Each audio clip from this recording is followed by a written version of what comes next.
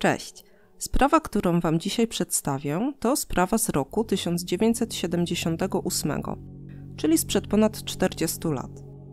Dotyczy zaginięcia grupy pięciu dorosłych chłopaków, którzy jednej mroźnej zimowej nocy, z przyczyn do dziś nieustalonych, wyruszyli w głąb ciemnego lasu, idąc właściwie na pewną śmierć. W tej historii tak naprawdę nic nie jest jasne. Od przyczyn zaginięcia, miejsca, gdzie wszystko się wydarzyło, aż po całkowicie niezrozumiałe zachowania zaginionych, których motywacje do dzisiaj budzą wiele wątpliwości i hipotez. Tym razem będzie więc bardzo tajemniczo. Jest to niewątpliwie jedna z moich ulubionych niewyjaśnionych spraw i mam nadzieję, że uda mi się Was nią także zainteresować. Więc bez zbędnego przedłużania zacznijmy. Na początek kilka słów o bohaterach tej zagadkowej historii. Piątka z Yuba County to grupa przyjaciół, mężczyzn w wieku od 24 do 32 lat. Wszyscy mieszkali w Yuba City w Kalifornii lub w bezpośrednio sąsiadującym z nim Marysville. Charakteryzowało i łączyło ich to, że wszyscy cierpieli na pewne zaburzenia, rzutujące na ich zdolności intelektualne i poznawcze. Żaden z mężczyzn nie był jednak upośledzony w stopniu ciężkim. Mówimy tu raczej o przypadłościach związanych z obniżeniem zdolności uczenia się, czy jak to charakteryzowano w ówczesnych źródłach, pewną powolnością umysłową. Nie udało mi się jednak dotrzeć do informacji, na ile schorzenia chłopaków były formalnie zdiagnozowane. Funkcjonowali oni dość dobrze w społeczeństwie, w większości byli zdolni do wykonywania łatwiejszych prac zawodowych, ale wszyscy mieszkali z rodzicami i nie mieli żon ani dzieci. Znali się dzięki finansowanemu przez lokalne władze projektowi Gateway, w ramach którego osoby z niepełnosprawnościami intelektualnymi mogły uczestniczyć w zajęciach, pracach, poznawać i integrować się. Czas wolny chłopaki lubili spędzać razem, a ich głównym zainteresowaniem był sport, w szczególności koszykówka. Nie tylko jednak ją oglądali, ale także grali razem w zespole Gateway Gators, drużynie, która prowadzona była również w ramach wspomnianego miejskiego programu. Spędzali więc wspólnie bardzo wiele czasu i byli prawdziwie oddanymi, nierozłącznymi przyjaciółmi dla siebie nawzajem, przez rodziców określani sympatycznie The Boys. Gdy nie wychodzili nigdzie razem, zwykle każdy z nich spędzał czas w domu z rodziną. Teraz o każdym z bohaterów tej historii postaram się powiedzieć kilka słów, choć dostępne jeszcze źródła o niektórych z nich nie oferują zbyt wielu informacji. Bill Sterling, lat 29. Opisywany jako chłopak o stwierdzonym opóźnieniu intelektualnym, znaczną część dzieciństwa spędził w szpitalu w Napa. Jako dorosły, z życiem codziennym radził sobie dość dobrze i samodzielnie. Na początku lat 70. pracował przy zmywaniu naczyń w pobliskiej wojskowej bazie lotniczej. Pracę tę porzucił pod naciskiem matki, gdy wydało się, że kilka razy inne osoby z bazy celowo upijały go, aby ukraść mu pieniądze. W tym czasie, kiedy wydarzyła się omawiana historia, Bill był pracownikiem produkcji w firmie zajmującej się przetwórstwem owoców. Pracę tę dostał z pomocą swojego najlepszego przyjaciela z piątki, Jacka Madrugi. Bill znany był z dobrego serca i dużej empatii. Odwiedzał szpitale i ośrodki dla osób upośledzonych, gdzie czytał pacjentom, aby umilić im czas. Był człowiekiem głęboko wierzącym i chciał dzielić się swoją wiarą, stąd były to przede wszystkim teksty religijne. Ted Wire, lat 32. Przez rodzinę opisywany był jako powolny i mający trudności z oceną sytuacji. Miał problemy z myśleniem przyczynowo-skutkowym i wyciąganiem wniosków. Zdarzało mu się też działać w sposób nielogiczny. Przykładowo kiedyś zdarzyło się, że kupił masę ołówków za kwotę 100 dolarów, choć nie były mu one do niczego potrzebne. Albo kiedy jednej nocy w jego domu rodzinnym wybuchł pożar, Ted nie chciał wyjść z łóżka i opuścić domu, narzekając, że nie wyśpi się do pracy, więc musiał być wyciągany stamtąd siłą przez braci.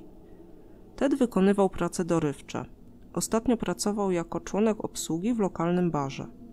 Jednak rodzina zauważyła, że natłok obowiązków i tempo pracy były dla niego zbyt obciążające i stresujące. Wobec tego za ich namową Ted porzucił to zajęcie. Ted szczególnie lubił dzwonić do Billa, choćby po to, by opowiedzieć mu, co ciekawego przeczytał w gazecie albo poczytać śmieszne nazwiska, jakie znalazł w książce telefonicznej. Był też bardzo dobrym przyjacielem i wsparciem dla Jacka Hewetta, któremu pomagał w niektórych sytuacjach i czynnościach życia codziennego. Ted był dość dziecinny, bardzo przyjazny, miły i otwarty na ludzi, przy tym nadmiernie ufny i łatwowierny. Zawsze uśmiechał się szeroko i machał na powitanie nieznajomym. Miał też szczęście żyć z bardzo wspierającą i kochającą rodziną. Jack Hewitt, lat 24. W grupie był to chłopak o najwyższej niepełnosprawności intelektualnej, szacowanym niskim ilorazie inteligencji, do tego powolny w sytuacjach społecznych i bardzo nieśmiały. Nie potrafił płynnie czytać ani pisać, wypowiadał się również bardzo powoli. W sytuacjach, gdy znajdował się wśród ludzi, zwykle wspierała go mama albo Ted. Teda Weyera znał już od ośmiu lat i traktował jak starszego brata. Ted pomagał mu w pracach i zajęciach wykonywanych w ośrodku programu Gateway albo wykręcał za niego numer telefonu, gdy Jack musiał gdzieś zadzwonić, bo ten niezbyt dobrze radził sobie z obsługą aparatu. W związku z nieśmiałością i powolną mową Jack jednak i tak unikał rozmów telefonicznych jak tylko mógł. I gdy było to możliwe, wszelkie telefony za niego wykonywał Ted. Jack Madruga, lat 30. Ukończył lokalne liceum w roku 1966, po czym przez dwa lata służył w armii jako kierowca wojskowej ciężarówki. Przez dłuższy czas pracował dla dużej firmy z branży przetwórstwa owoców Sunsweet Growers wraz z Billem Sterlingiem. Ale około trzy miesiące przed omawianymi wydarzeniami Jack został zwolniony z pracy. Najprawdopodobniej przyczyną zwolnienia był fakt, że nie potrafił on nauczyć się obsługiwać nowych maszyn, które firma zakupiła do procesu produkcji. Przez rodziców Jack określany był jako powolny w uczeniu się i procesach myślowych, ale nie upośledzony intelektualnie w tradycyjnym medycznym sensie. Wydaje się, że nigdy nie został zdiagnozowany jako osoba formalnie niepełnosprawna. Jako jedyny z grupy posiadał swój samochód. Był to turkusowy Mercury Montego z 1969 roku. Auto było oczkiem w głowie i wielką dumą Jacka, który bardzo o nie dbał i nigdy nie pozwalał nikomu innemu nim jeździć. Gary Matajas, lat 25. Gary był absolwentem liceum w Marysville. W latach szkolnych grał w drużynie futbolowej i śpiewał w zespole muzycznym. Po szkole, na początku lat 70., służył w wojsku, w jednostce stacjonującej w Niemczech. Tam jednak Gary wpadł w uzależnienie od narkotyków. Nie znalazłam w źródłach wzmianki, o jakiego typu substancje chodziło. W tym czasie zaczęły pojawiać się u niego napady niekontrolowanej agresji, przez które jednostka skierowała go na ewaluację psychiatryczną. Ostatecznie w wojsku zdiagnozowano u niego schizofrenię paranoidalną i z tego powodu w roku 73, mając 20 lat, Gary został zwolniony z służby. Wrócił do domu rodzinnego i podjął leczenie psychiatryczne w lokalnym ośrodku medycznym dla weteranów. Przyjmował stale leki antypsychotyczne, według źródeł dawkowane w tygodniowych odstępach. Przez lekarzy uważany był za pacjenta pod kontrolą, u którego leczenie przynosiło skutki, a objawy nie pojawiały się od około dwóch lat. W przeciwieństwie do reszty chłopaków, Gary nie miał żadnych zaburzeń intelektualnych i w grupie był osobą najwyżej funkcjonującą i najbardziej samodzielną. Właściwie trudno powiedzieć, na jakiej podstawie trafił do projektu Gateway, który kierowany był przecież do osób zmagających się z opóźnieniem intelektualnym. Choroba psychiczna to jednak zupełnie innego typu przypadłość. W każdym razie Gary trafił tam później niż pozostali chłopacy i do piątki dołączył relatywnie niedawno, niepełny rok przed tajemniczym zaginięciem grupy. Gary otrzymywał rentę wojskową. Aby to robić, pracował w firmie ogrodniczej swojego ojczyma. Oprócz Jacka Madrugi, tylko on w grupie potrafił prowadzić samochód i posiadał prawo jazdy. Cechowała go znaczna wada wzroku. Bez swoich okularów o grubych szkłach widział praktycznie podwójnie. W 2019 roku kalifornijskie pismo The Sacramento Bee opublikowało obszerny, dwuczęściowy artykuł na temat sprawy piątki z Yuba County. Link znajdziecie w opisie filmu. Według informacji autora artykułu, Gary był człowiekiem dużo bardziej niebezpiecznym i agresywnym niż wynikałoby to z jego wizerunku, jaki przedstawiały artykuły w latach 70., gdy toczyła się sprawa poszukiwań piątki z Juby. Autor opisuje przeszłość Garego jako historię licznych konfliktów z prawem, które zaczęły się już w czasach licealnych, w tym dwóch pobytów w więzieniu po powrocie z wojska. Według artykułu Gary kilkukrotnie był sprawcą brutalnych pobić, kradzieży, włamań, a nawet próby gwałtu na żonie swojego kuzyna, u którego pomieszkiwał przez krótki czas. Był ponoć także dobrze znany lokalnej policji w Yuba City jako przestępca i człowiek niebezpieczny. I dopiero niedługo przed zapoznaniem przyjaciół z piątki wyszedł nieco na prostą i przestał wchodzić w konflikt z prawem. Natomiast muszę zaznaczyć uczciwie, że nie jestem w stanie powiedzieć, czy informacje o tak wysokim poziomie agresji i brutalności oraz bardzo silnym uzależnieniu Garego od narkotyków są wiarygodne, gdyż są one już praktycznie niemożliwe do zweryfikowania. W artykułach czy źródłach wcześniejszych pojawiały się jedynie wzmianki o tym, że rzeczywiście Gary był dwukrotnie zatrzymany i oskarżony o napaść.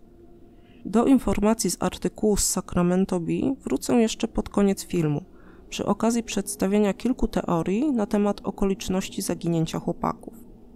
Tak czy inaczej, Gary Matajas, jak się wydaje, dość istotnie różnił się od reszty chłopaków i w związku z jego uczestnictwem w ich grupie, niektórzy komentujący sprawę zdają się dopatrywać czegoś podejrzanego.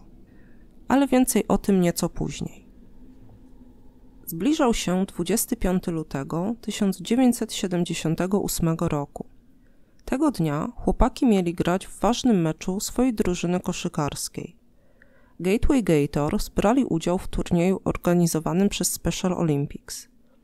Nagrodą dla zwycięskiego zespołu miała być wspólna wycieczka do Los Angeles, co również bardzo zachęcało piątkę chłopaków do walki o trofeum. Zbliżający się pierwszy mecz turniejowy był dla nich niewątpliwie tematem numer jeden w ostatnich dniach. Na nadchodzące rozgrywki przygotowane zostały dla nich profesjonalne stroje z nazwą zespołu i nie mogli doczekać się, aby w nich wystąpić. Ted poprosił mamę, aby koniecznie wyczyściła mu przed meczem jego białe trampki, bo chciał, aby na tak ważny mecz każdy detal był perfekcyjny. Gary poprosił rodziców, by upewnili się, że wstanie na czas i na pewno go obudzili, gdyby miał zaspać. Wszyscy z piątki byli niezwykle podekscytowani tym wydarzeniem. Nasza historia jednak zaczyna się w piątek, 24 lutego 1978 roku, czyli dzień przed tym tak wyczekiwanym przez chłopaków meczem. Mimo, że następnego ranka musieli wstać w jak najlepszej formie, chłopacy zaplanowali na wieczór małą wycieczkę. Być może w ramach odstresowania się przed następnym dniem chcieli pojechać kibicować swojej ulubionej drużynie UC Davis, grającej tego wieczora przeciwko zespołowi Chico State w ramach rozgrywek koszykarskiej ligi uniwersyteckiej. Od miejscowości Chico, gdzie odbywał się mecz, dzieliła ich odległość około 75 km, czyli średnio niepełna godzina jazdy samochodem. Jack Madruga zabrał chłopaków na pokład swojego Montigo i w świetnych nastrojach grupa wyruszyła do Uniwersytetu Stanowego w Chico, w hali którego odbywał się mecz. Ku ich dodatkowej radości ulubiony zespół odniósł zwycięstwo. Po meczu chłopacy wyjechali z parkingu przy kampusie.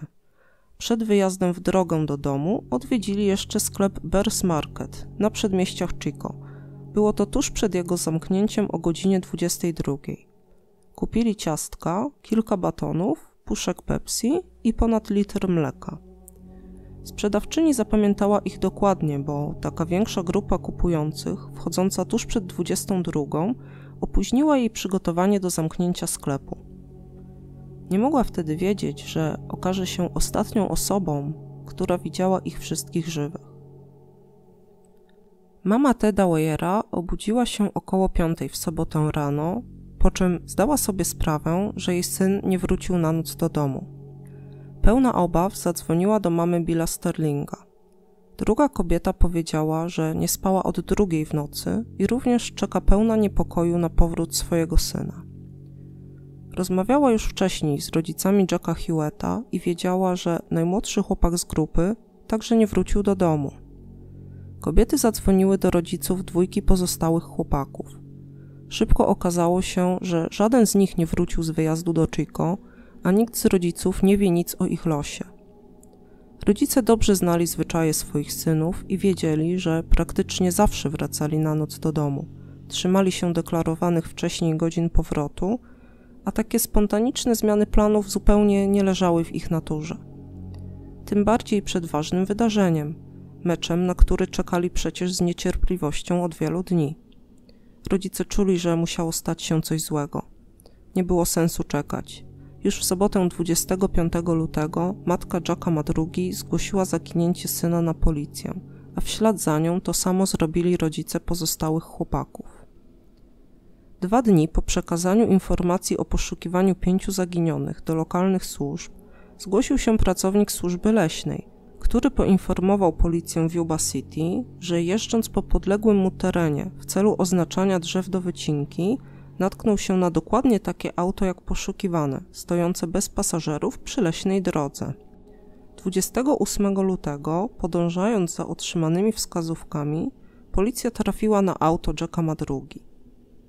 Odnalezienie auta w istocie przyniosło więcej pytań niż odpowiedzi. Przede wszystkim wielką zagadkę stanowiła kwestia jego lokalizacji. Auto było zostawione 110 km od Chico, ale w kierunku wschodnim, w Plumas National Forest, podczas gdy droga powrotna do Juby prowadziła na południe. Znajdowało się pośrodku lasu, przy wąskiej, skalistej i całkowicie ośnieżonej górskiej drodze, która zresztą oficjalnie była zamknięta w sezonie zimowym. Nie była zablokowana, więc wjazd był technicznie możliwy, ale na drodze panowały niezwykle trudne warunki. Wysokie zaspy śnieżne, wokół gęsty las, w nocy cały teren pogrążony w całkowitej ciemności.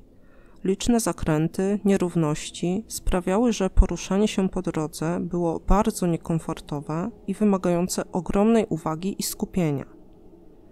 Droga nie była też uważana za taką, w którą można skręcić przez pomyłkę. By na nią trafić, trzeba było zjechać z drogi asfaltowej w leśną drogę gruntową, którą w ciemności nawet ciężko było znaleźć. Ponadto nie był to bynajmniej teren znany chłopakom. Według informacji od ich rodzin, Bill Sterling jako jedyny przebywał wcześniej w tamtej okolicy. Jednak było to przy okazji jednorazowego wyjazdu z ojcem na ryby, wyjazdu, który zresztą Billowi w ogóle się nie spodobał. Chłopak nudził się, a na kolejne wypady ojca w tamte strony w ogóle już nie zdecydował się pojechać. Więc nic nie wskazuje na to, że to Bill mógłby chcieć pokierować grupę w tamten rejon. Dodatkowo kierowca grupy, Jack Madruga, nigdy wcześniej nie jeździł w góry. Jego rodzice uważali, że nie byłby skłonny pojechać w takie miejsce z własnej woli, tym bardziej zimą i w środku nocy.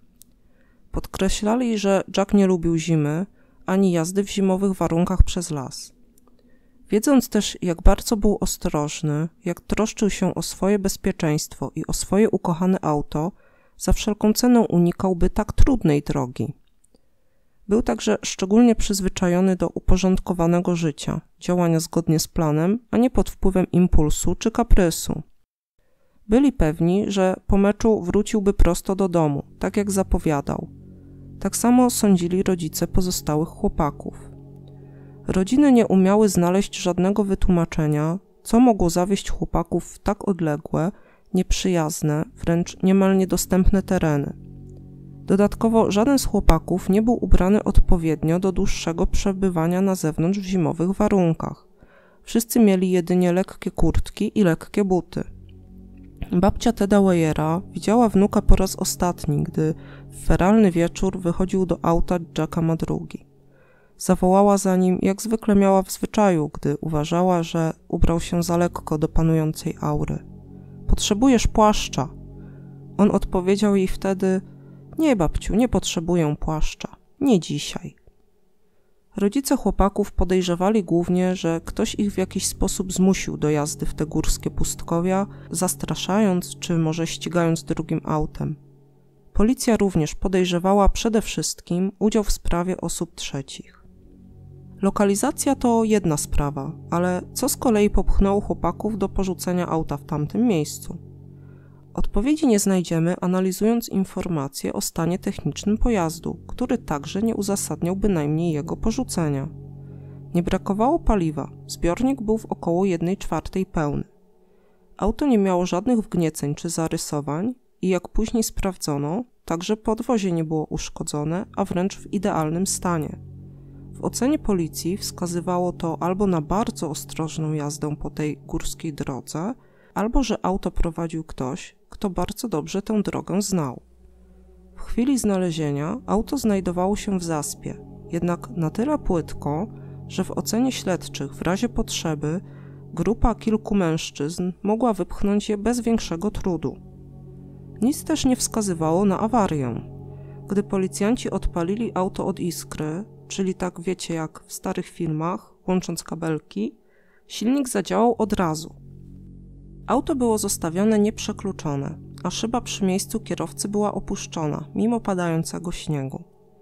Wydawało się to znowu niezgodne z tym, jak zostawiłby swoje auto Jack Madruga, tak przecież o nie zatroskany. Mogło to wskazywać, że chłopaki opuścili samochód w pośpiechu, albo że wyszli z zamiarem pobytu na zewnątrz tylko na chwilę i zamierzali zaraz do niego wrócić. W środku pojazdu na siedzeniach leżały puste opakowania po przekąskach i napojach kupionych w Chico, w tym jeden baton zjedzony do połowy. W schowku znajdowały się schludnie złożone mapy. Mapa ogólna Kalifornii oraz trzy mapy miast. W aucie ani w najbliższym otoczeniu nie znaleziono kluczyków. Wyglądało na to, że kierowca zabrał je ze sobą. Jednak ani po nim, ani po reszcie pasażerów nie było wokół ani śladu. W następnych dniach w rejonie, gdzie znaleziono samochód Madrugi, rozpoczęły się szeroko zakrojone poszukiwania. Jednak zarówno teren, jak i warunki pogodowe były w tym czasie niezwykle trudne. Większość terenu była skalista, niebezpieczna i trudno dostępna, a struktura lasu bardzo gęsta. Cały czas na obszarze panowały ujemne temperatury i padał śnieg, zasypując wszelkie możliwe ślady po chłopakach oraz tworząc ogromne zaspy, sięgające nawet ponad półtora metra.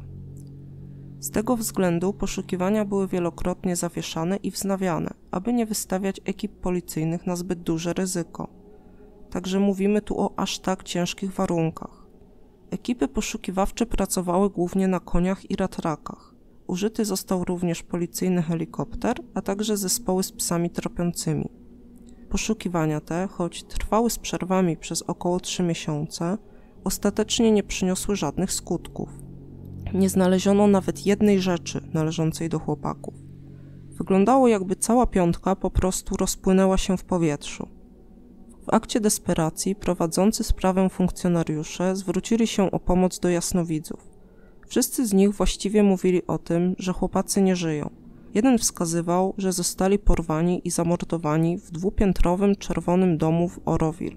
Policjanci nawet sprawdzili ten wariant, ale ustalili, że we wskazanym przez jasnowidza obszarze w ogóle nie istnieje taka nieruchomość. Żadne z widzeń na nic się nie zdało. W związku z nagłośnieniem tej zagadkowej sprawy w lokalnych mediach i wyznaczeniem nagrody za udzielone wskazówki, pojawiały się zgłoszenia osób, które miały mieć informacje o losie grupy chłopaków. Również w ten sposób policja nie uzyskała wskazówek, które pomogłyby odnaleźć zaginionych. 3 marca, czyli około tydzień po zaginięciu chłopaków, na policję zgłosiła się kobieta z Brownsville – oddalonego o około 48 km od miejsca porzucenia przez chłopaków auta. Po tym jak zobaczyła plakat informujący o poszukiwaniu grupy, stwierdziła, że według niej chłopacy pojawili się w sklepie, w którym pracowała w niedzielę 26 lutego. Mieli podjechać pod sklep czerwoną półciężarówką. Trzech z nich weszło, aby kupić burritos, słodycze i napoje bezalkoholowe, a pozostała dwójka korzystała ze znajdującej się na zewnątrz budki telefonicznej. Dodatkowo jej zeznanie potwierdził później także właściciel sklepu. Można więc powiedzieć, że świadków było dwoje. Policja potraktowała to zgłoszenie jako potwierdzone widzenie zaginionych, chociaż miało oczywiście pewne słabe punkty. Przede wszystkim nic nie tłumaczyło, jakim sposobem chłopacy mieli wejść w posiadanie czerwonej półciężarówki. Nie wiemy, czy w samochodzie mógł być ktoś jeszcze. Gdyby był, chłopacy mogli być autostopowiczami u kierowcy, który ich później uprowadził. Na tym etapie śledztwa mogła to być jedna z hipotez. Drugą sprawą jest rzekome wykonywanie telefonów przez dwójkę chłopaków w zewnętrznej budce. Nikt z rodzin nie odebrał od nich połączeń, a oprócz siebie nawzajem i członków rodzin, chłopacy z piątki nie kontaktowali się specjalnie z nikim innym. Znowu pojawia się wątpliwość, czy jeśli byliby w niebezpieczeństwie, zagubieni, a nawet uprowadzeni i jednocześnie znaleźli sposobność użycia telefonu, dlaczego nie wezwali pomocy? Dlaczego nie zadzwonili do rodziców, by powiedzieć, gdzie są i co robią? Dodatkowo jako osoby dzwoniące rozpoznani zostali przez świadków Hewitt i Sterling. Niezbyt zgadzałoby się to ze zwyczajami chłopaków. Przypomnę, że Jack Hewitt unikał telefonowania jak tylko mógł i raczej zawsze asystował mu przy telefonie Ted. No jednak, jak wspomniałam, między innymi na tym zeznaniu opierała się policja, traktując uprowadzenie lub morderstwo jako jedną z hipotez dalszych losów zaginionych chłopaków. W strasznym poczuciu niepewności, z nadzieją gasnącą z każdym kolejnym dniem, rodziny musiały poczekać jeszcze ponad 100 dni, aby dowiedzieć się czegokolwiek więcej o losie swoich synów. 4 czerwca, kiedy w górach stopniał już śnieg, grupa motocyklistów zajechała do leśnego obozowiska. Było to pole kempingowe, o tej porze jeszcze puste, z pozostającą tam na stałe niewielką, całoroczną przyczepą należącą do służby leśnej. Zauważyli, że przyczepa ma wybite okno i poczuli, że ze środka wydobywa się odrażający fetor. Zgłosili sprawę do służb. W środku odnalezione zostały zwłoki, jak się wkrótce okazało, Teda Weyera. Zwłoki w stanie zaawansowanego rozkładu leżały na łóżku, owinięte od stóp do głów w osiem prześcieradeł. Ted ubrany był w welurową koszulę i lekkie spodnie, brakowało butów. Jego nogi nosiły ślady koszmarnych odmrożeń, do tak głębokiego stopnia, że u stóp brakowało kilku palców. Na podstawie wzrostu włosów i brody oszacowano później, że po zaginięciu Ted przeżył jeszcze między 8 a 13 tygodni. W tym czasie, zanim zmarł, stracił na wadze między 35 a 45 kg. Wszystko wskazuje na to, że przed śmiercią przeszedł przez straszną, długotrwałą agonię, a przyczyną śmierci była kombinacja głodu i wychłodzenia. Na stoliku przy łóżku znajdował się portfel Teda z pieniędzmi w środku, pierścień z wygrawerowanym imieniem Ted i jego złoty łańcuszek. Oprócz tego częściowo wypalona świeczka i uszkodzony złoty zegarek, nie należący jednak do niego. Jak później ustalono z rodzinami zaginionych chłopaków, zegarek nie należał również do żadnego z nich. Jego obecność w przyczepie zrodziła teorię, że może wraz z Tedem był tam ktoś inny, ktoś spoza grupy. Jednak nie wiadomo skąd zegarek się tam wziął, do kogo należał, ani od kiedy się tam tak naprawdę znajdował. Przyczepa była zlokalizowana w odległości aż 31 km od samochodu porzuconego przez chłopaków. Był to niewiarygodny dystans do przejścia w warunkach zimowych bez odpowiedniego ubioru i zapasów żywności. Co jeszcze znajdowało się w przyczepie i wokół niej? Odpowiedź jest krótka, ale naprawdę szokująca. Znajdowało się tam wszystko, co było potrzebne do przeżycia. Na zewnątrz była czynna butla gazowa, którą wystarczyło odkręcić, aby uruchomić ogrzewanie w przyczepie i do tego umożliwić podgrzanie posiłków. Nawet zakładając, że chłopacy nie potrafiliby tego zrobić, mogli również rozpalić ogień, używając zapałek leżących na widoku i całej masy łatwopalnych materiałów, które znajdowały się w przyczepie, zwłaszcza książek i drewnianych mebli. Nawet nie spróbowali tego zrobić.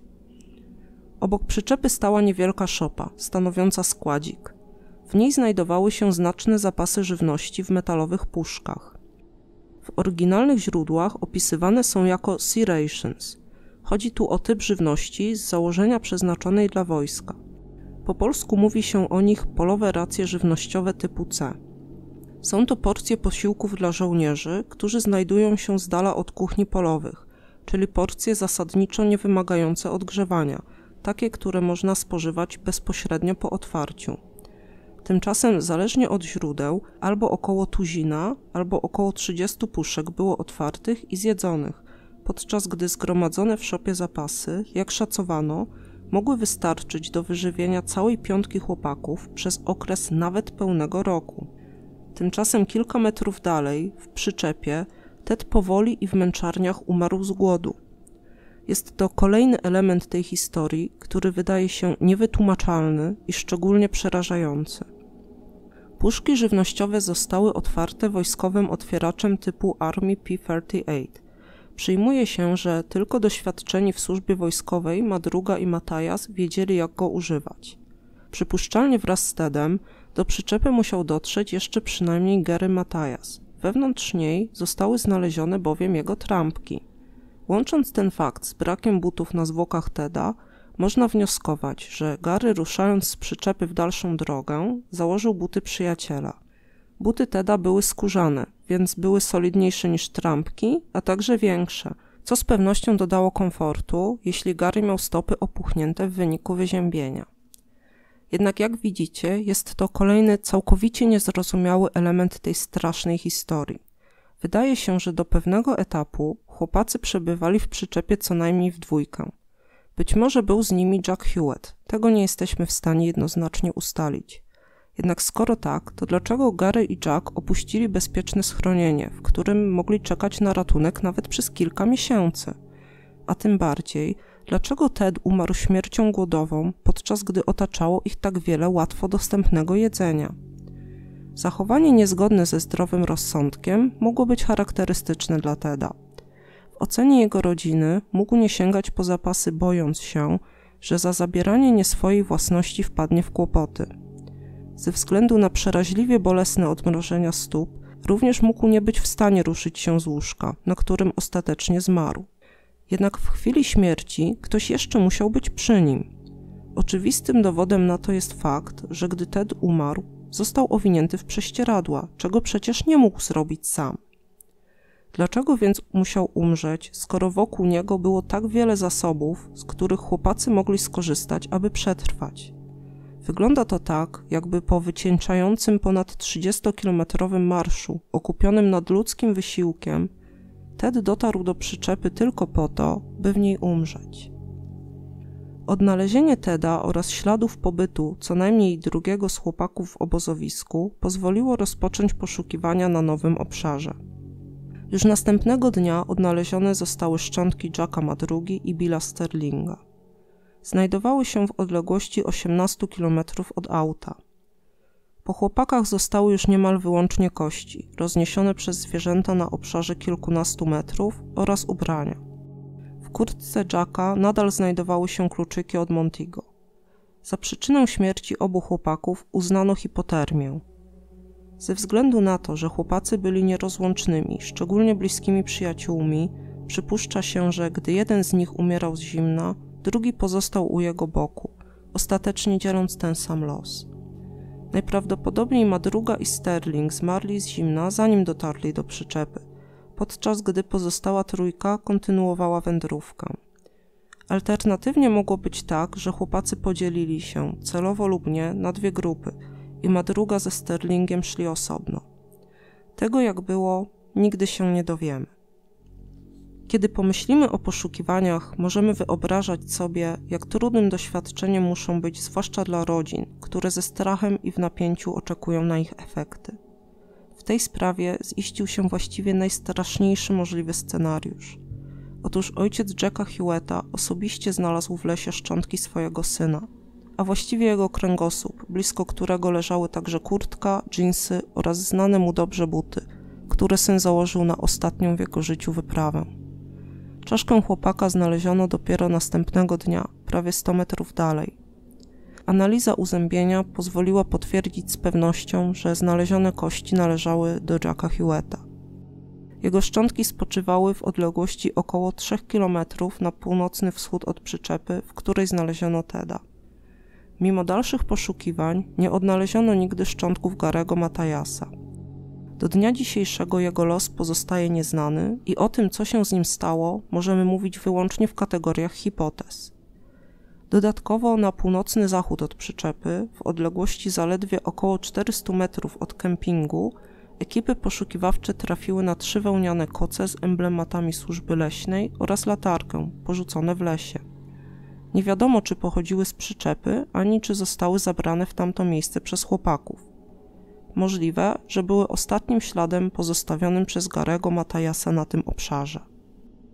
Znając teraz bliżej okoliczności sprawy, możemy spróbować rozważyć kilka kwestii szczególnie kontrowersyjnych. Chociaż w tej sprawie, jak widzicie, zasadniczo ciężko o teorię. Każda podnoszona teza zdaje się mieć słabe strony i nie wyjaśniać w pełni logiki zdarzeń. Po pierwsze, istotną część zagadki stanowi los Garego Matajasa. Nie został on nigdy odnaleziony żywy. Ekipy poszukiwawcze także nigdy nie odnalazły jego szczątków. Wydaje się prawdopodobne, że podzielił on los swoich towarzyszy i także zginął. Szanse, że udało mu się dotrzeć gdzieś do siedzib ludzkich czy odnaleźć pomoc, wydają się nikłe. Tym bardziej, że nigdy nie odezwał się do nikogo z rodziny, ani nie wiadomo, by trafił do szpitala, co na pewno byłoby konieczne po tak długim i wycieńczającym pobycie w dzikim lesie na mrozie. Być może za sprawą swojego doświadczenia z wojska mógł przeżyć dłużej, zawędrować dalej. Możliwe, że zmarł w znacznej odległości od innych i jego szczątki spoczywają gdzieś w lesie do dziś, po tylu dekadach przykryte ziemią i roślinnością. Jego szczątki, tak jak innych, z pewnością stałyby się łupem leśnej zwierzyny, wobec tego potencjalnie również byłyby rozproszone i bardzo trudne do odnalezienia. Na ten moment najbardziej prawdopodobne wydaje się, że jeśli Gary Matajas umarł razem z przyjaciółmi, to już nigdy nie zostanie odnaleziony. Gdyby jednak przeżył, w roku 2020 Gary skończyłby 68 lat. Oficjalnie nadal ma status osoby zaginionej i poszukiwanej. Spośród chłopaków z grupy był on najbardziej zaradny i miał najbardziej wpływowy charakter. Wobec tego istnieje możliwość, że to on mógł przewodniczyć grupie i odpowiadać za podjęte decyzje. Również w ocenie śledczych, gdyby przyjąć scenariusz wydarzeń wykluczający udział w sprawie osób trzecich, to najpewniej właśnie Gary Matajas byłby osobą, która mogła namówić grupę do zmiany planów lub podjęcia nieszablonowych czy ryzykownych decyzji. Stąd niektóre z osób dyskutujących o sprawie upatrują przyczyn zaginięcia chłopaków w epizodzie psychotycznym, który mógł wystąpić u Garego w tamtą feralną noc. Dzięki silnej osobowości mógł narzucić reszcie chłopaków swoje urojone przekonanie, że są śledzeni albo ścigani, że uciekają przed jakimś niebezpieczeństwem, że muszą natychmiast uciec z auta. Jednak są to oczywiście wyłącznie dywagacje. Dużo dalej zdaje się iść w swoich rozważaniach autor artykułu z The Sacramento Bee, o którym wspominałam wcześniej. Przywołuje on bowiem nie tylko przykłady brutalnych zachowań i kryminalnej przeszłości Garego, ale także jego bardzo odległych, wielotygodniowych pieszych tułaczek po Kalifornii, a nawet między Stanami. Zgodnie z aktami sprawy, do których dotarł dziennikarz, jedna z takowych wypraw miała miejsce w 1974 roku, gdy Gary został zatrzymany przez policję w Stockton, mieście położonym około 145 km na południe od Yuba City. Będąc prawdopodobnie pod wpływem narkotyków, Gary został zawieziony na obserwację na oddział psychiatryczny lokalnego szpitala. Stamtąd uciekł na drugi dzień, schodząc po rynnie, po czym wrócił na piechotę do domu rodzinnego w Marysville, będąc ubrany nadal w szpitalną piżamę. W kolejnym roku, 1975, Gary zapisał się na studia w Yuba College, jednak został z niego bardzo szybko wyrzucony. Po tej porażce wyjechał z Marysville i przeniósł się do Portland w stanie Oregon, by zamieszkać u swojej babci. Nie było to raczej uzgodnione z rodziną, bo kiedy matce udało się wreszcie do niego dodzwonić, błagała go, by wrócił do domu. On jednak w odpowiedzi tylko trzasnął słuchawką. Niespodziewanie jednego dnia Gary pojawił się jednak na progu rodzinnego domu, jakieś pięć tygodni po tym telefonie od matki. Brudny, głodny, w obszarpanych ciuchach. Powiedział, że pokonał 850 km piechotą, jedynie okazjonalnie łapiąc autostop. Aby przetrwać tę kilkutygodniową tułaczkę, często kradł jedzenie czy mleko z ganków mijanych domów. Czy możliwe, że Gary celowo zaciągnął grupę na górskie odludzia i jakimś sposobem zmusił albo namówił ich, aby ruszyli z nim w tę ciemność i mróz, załóżmy w ramach podobnej wędrówki? Czy możliwe, że to planował?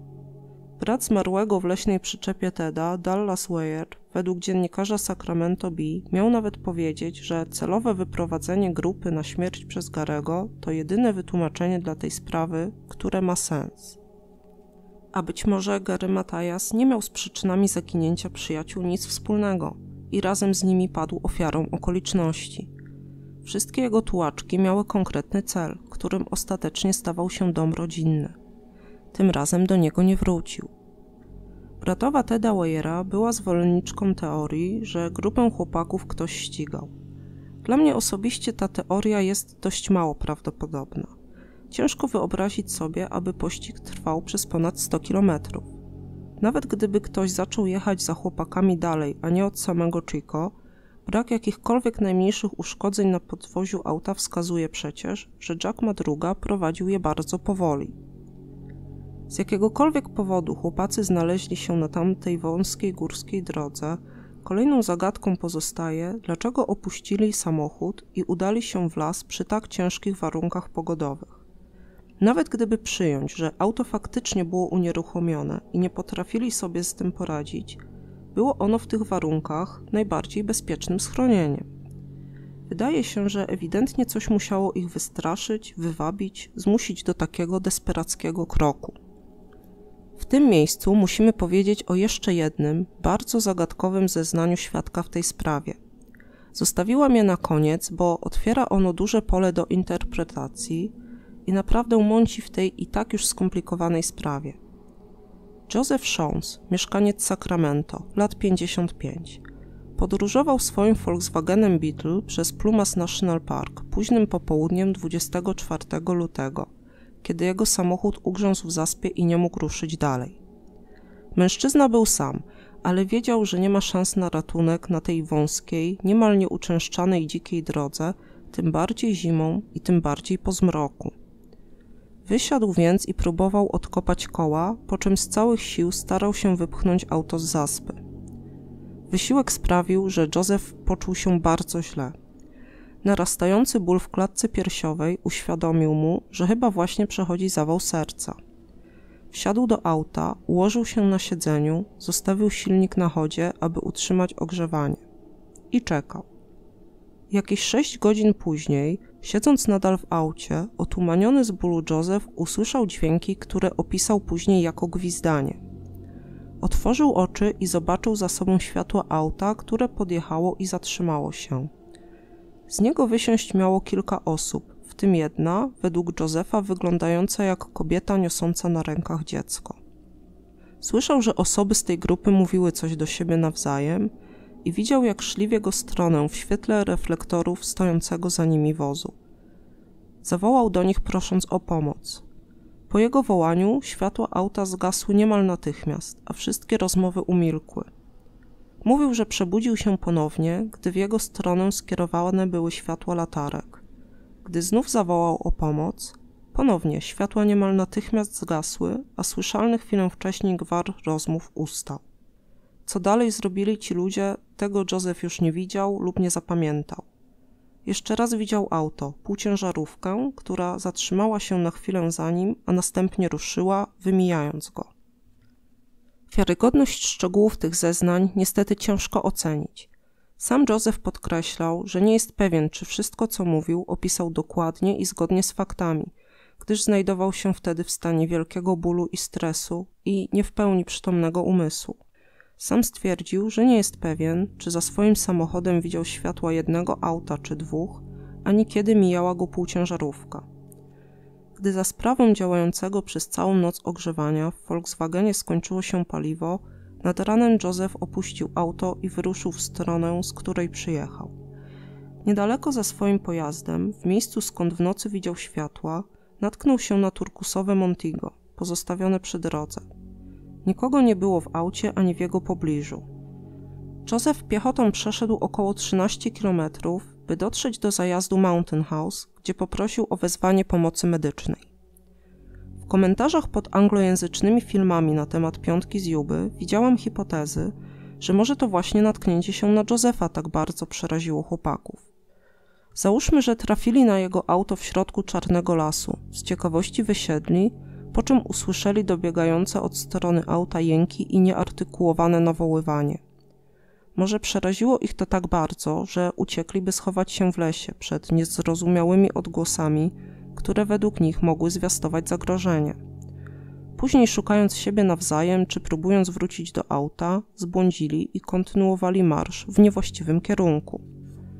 Część domysłów polega na odwróceniu hipotezy, zakładając, że to właśnie obecność Józefa przy drodze, jak i cała opowiedziana przez niego historia są podejrzane. Komentujący zwracają uwagę, że podana przez niego przyczyna znalezienia się w tym miejscu jest mało wiarygodna. Józef miał jechać górską drogą, by sprawdzić jej stan, zanim w kolejny weekend przywiezie w okolice swoją żonę i córkę na krótkie wakacje. Niektórym dziwne wydaje się też, aby próbować przeczekać zawał serca, a następnego dnia po prostu wyjść z auta i przemaszerować kilkanaście kilometrów. Jednak myślę, że musimy pamiętać, że auto Józefa było unieruchomione, nie było wtedy telefonów komórkowych, drogą praktycznie nikt nie jeździł, no i właściwie mężczyzna nie miał za bardzo innego wyjścia niż próbować czekać na poprawę, póki w aucie było ciepło, a następnie był zmuszony iść piechotą po pomoc. Znalazł się w sytuacji ekstremalnej i po prostu ratował swoje życie. Dodatkowo historia jego epizodu chorobowego została potwierdzona w dokumentacji medycznej. Gdy kolejnego dnia Józefowi została udzielona pomoc w szpitalu, lekarze potwierdzili przejście przez niego zawału serca. W treści jego zeznań szczególnie interesujące wydaje się opisanie tajemniczej postaci kobiety z dzieckiem. Czy z grupą mógł być wobec tego ktoś inny? autostopowicz czy autostopowiczka, któremu pomagali, albo przeciwnie, ktoś, kto ich nastraszył i zmusił do nagłej ucieczki? Nie wydaje się to zbyt prawdopodobne, bowiem co stałoby się z tym człowiekiem? Skoro nie zabrał samochodu madrugi, to sam skazałby się na utknięcie w środku lasu na mrozie. Może wobec tego to któryś z chłopaków przypominał Józefowi tę postać kobiecą. Jednak jeśli tak, to czym było coś, co niósł, przypominające mu dziecko na rękach? A może wszystko było to tylko przywidzenie? Niestety jest tu znowu znacznie więcej pytań niż odpowiedzi. Jak widzicie, sprawa jest niezwykle tajemnicza i najprawdopodobniej już na zawsze zostanie nierozwiązana. Jest także niewątpliwie bardzo smutna. W końcu życie stracili młodzi, dobrzy chłopacy, bardzo kochani przez swoje rodziny i bardzo wierni sobie nawzajem. Dlaczego tak się stało? Jeśli macie jakieś pomysły, teorie czy spostrzeżenia, napiszcie w komentarzach. Chętnie z Wami podyskutuję i na pewno żadnego komentarza nie zostawię bez odpowiedzi. W opisie filmu podaję też linki do artykułów i filmików na YouTube dla osób, które zechcą poszukać czegoś więcej na temat tej sprawy. Mam nadzieję, że materiał się Wam spodobał. Za posłuchanie wielkie dzięki i trzymajcie się.